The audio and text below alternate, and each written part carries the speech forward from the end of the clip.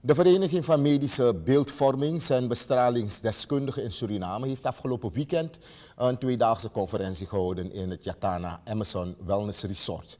De conferentie heet de Medical Imaging and Radiation Medicine Conference Suriname 2019 en had als thema We See, We Care, We Help.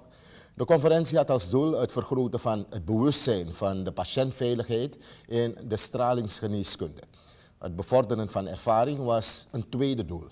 De deelnemers kwamen uit eh, Suriname, Curaçao, Guyana en uh, Trinidad en Tobago. Medisch ingenieur van het academisch ziekenhuis Paramaribo, Jay Yoku, gaf een presentatie over radiotherapie in Suriname.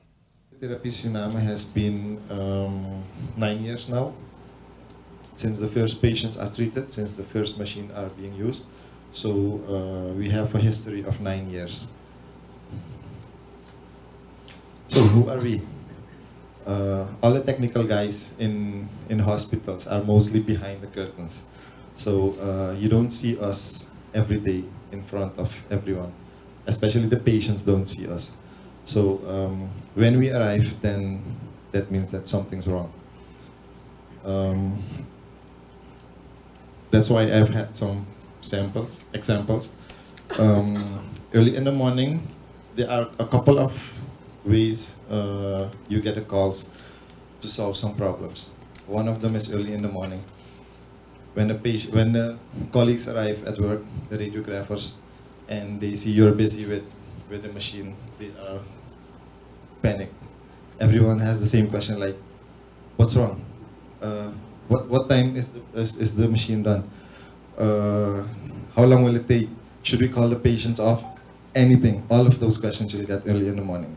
Jayan Joku ging ook in op de verschillende apparaten die gebruikt worden in de radiotherapie.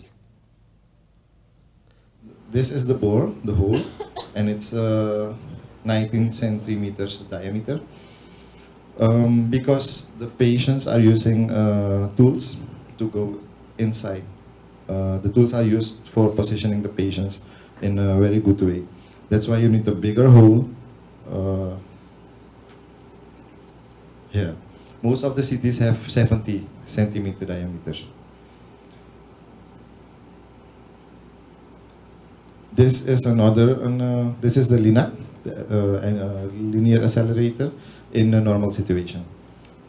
This is how uh, patients are being treated on a table and normally this is what we see when everything is okay.